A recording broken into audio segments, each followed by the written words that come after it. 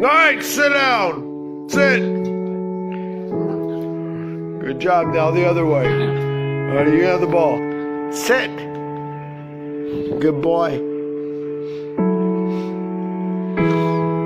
Okay.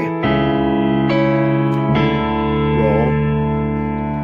Come on, all the way over. Or just relax where you're at. You're good. You're a good boy right there. Yeah. You want to roll the other way? Come on. Let's try it. It's not too much effort. You reached you reached the you reached your relaxation zone. Alright. I'm not gonna push it.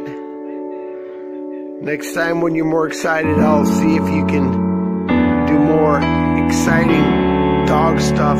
But here's your here's your ball back. Ready? One.